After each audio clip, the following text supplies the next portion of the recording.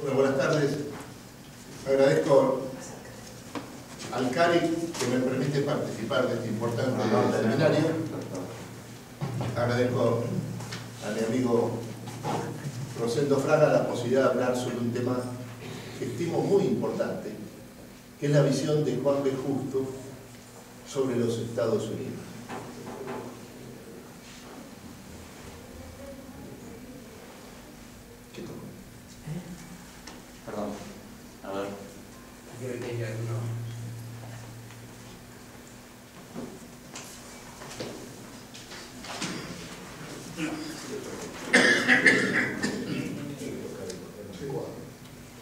El núcleo de la comprensión de Juan B. Justo,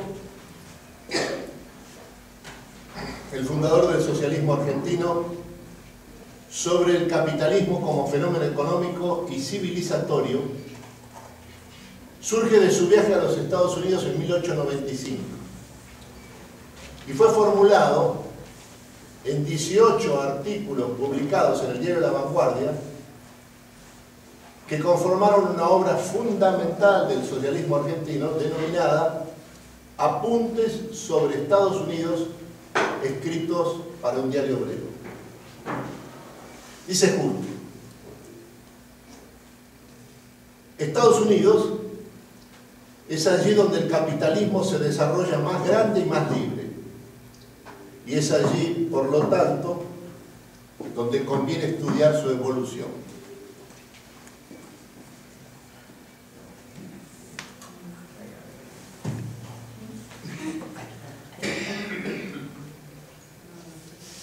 Concepción de Juan B. Justo sobre el capitalismo norteamericano se fundaba en la visión de Marx y de Engels sobre las características de la sociedad estadounidense, que era, en los términos de Federico Engels, el único país capitalista avanzado sin pasado feudal. Lo que significa esta afirmación del gran colaborador de Carlos Marx es que las raíces del proceso de acumulación norteamericana son inmediatamente capitalistas. Al no haber pasado feudal, la historia norteamericana no reconoce la existencia de ninguna fase de acumulación primitiva o precapitalista.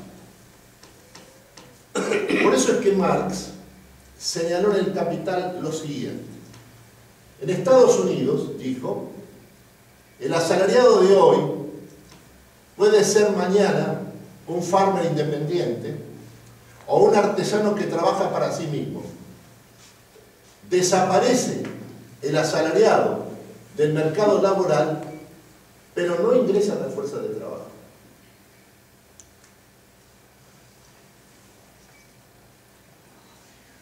El resultado de esta observación de Carlos Marx sobre las características estructurales del capitalismo norteamericano es que lo que caracteriza a los Estados Unidos es una escasez estructural de la fuerza de trabajo en el proceso de acumulación.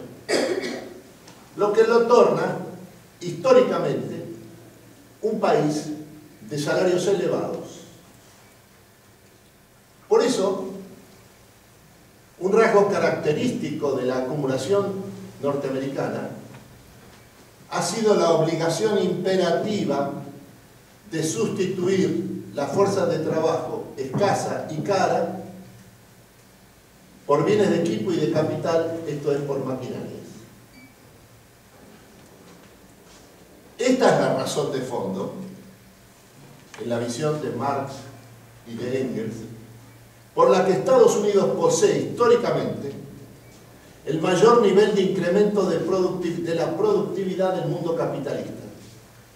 Y ha sido, y es, el país frontera del sistema en términos tecnológicos y en lo que se refiere a la capacidad de innovación. Por eso afirmaba Juan B. Justo en las páginas de la vanguardia que el carácter preeminente de Estados Unidos es su desarrollo económico, que ha coincidido con el crecimiento de la industria y el comercio universales, el término de la época para referirse al carácter global de la producción capitalista. Bajo la influencia del vapor, los medios de transporte más avanzados de la época, y de las máquinas. Norteamérica, dice Juan Justo, es el país de las invenciones y de las máquinas, donde la competencia es un nuevo factor de crecimiento económico. Y es allí, dice, en los Estados Unidos, donde el trabajo humano ha llegado a un máximo de intensidad y eficacia, máximo de productividad. Lo que hace que la capacidad productiva de cada obrero sea muy grande. En el momento en que el proceso de integración en todo el mundo capitalista provoca la desaparición de las pequeñas empresas y el desarrollo de algunas muy grandes. Esto llevaba justo a comprobar, es lo que hacen las páginas del diario La Vanguardia, que el pueblo norteamericano, fundamentalmente, obviamente, obvio decirlo, la raza blanca, ha vivido no solo de justicia y libertad, sino ante todo de condiciones económicas claramente comprendidas. Hay que advertir que la experiencia de su viaje a Estados Unidos llevó a Juan, a Juan B. Justo a criticar la teoría del valor de Carlos Marx. Lo hizo en su trabajo Economía, Valor e Intereses, publicada en 1913, en el que señaló que Marx veía en el trabajo obrero de los trabajadores industriales el único parámetro para determinar el valor de un producto sobre la base del número de horas trabajadas en su fabricación. Justo sobre la base de la crítica de esta concepción que consideraba estrecha de Carlos Marx sobre la teoría del valor, elaboró sobre la base de su experiencia norteamericana una nueva categoría denominada trabajo económico con dos componentes distintos a los de la teoría del valor de Carlos Marx.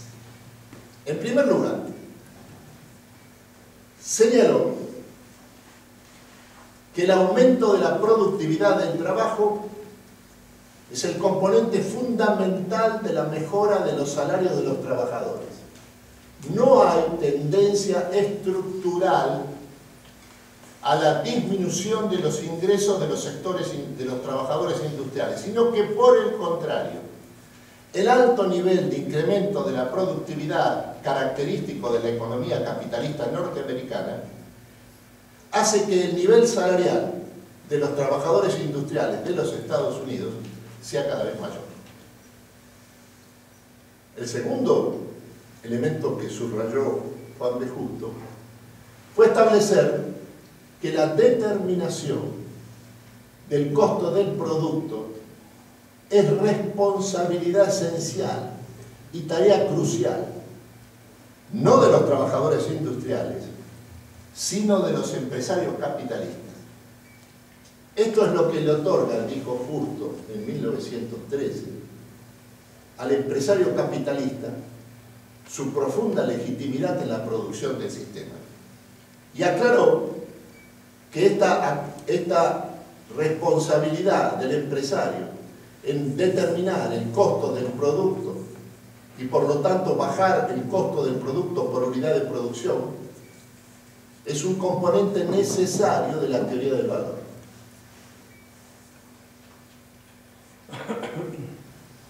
Justo fundamentó su tesis en el estudio combinado de los salarios y de los costos del producto en Estados Unidos entre 1840 y 1899, que estudió circunstanciadamente. De allí surgía este estudio que mientras la jornada de trabajo se había acortado paulatinamente en este periodo, el primer país capitalista que acortó sistemáticamente la jornada de trabajo, los salarios de los trabajadores industriales estadounidenses habían aumentado en forma inversa. Al tiempo que el costo de los productos había disminuido significativamente. Por eso señaló Juan B. Justo que la clave de la comprensión de la economía y de la sociedad norteamericana no residía en el salario de los trabajadores.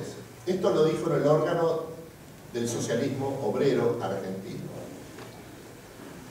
Y por lo tanto no residía en el valor del trabajo, sino en la mejora de sus condiciones de vida, medida por el monto de los recursos disponibles en términos de recursos líquidos por cada uno de los operarios individualmente.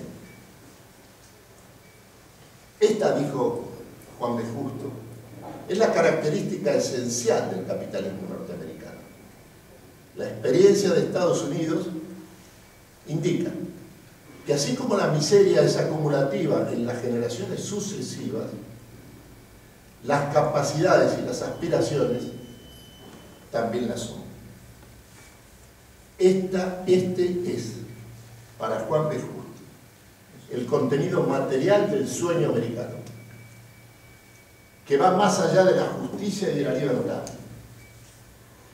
y que constituye un proceso de acumulación de las capacidades y aspiraciones de los trabajadores estadounidenses, estadounidenses que se transfiere a las generaciones sucesivas de manera acumulada. Muchas gracias.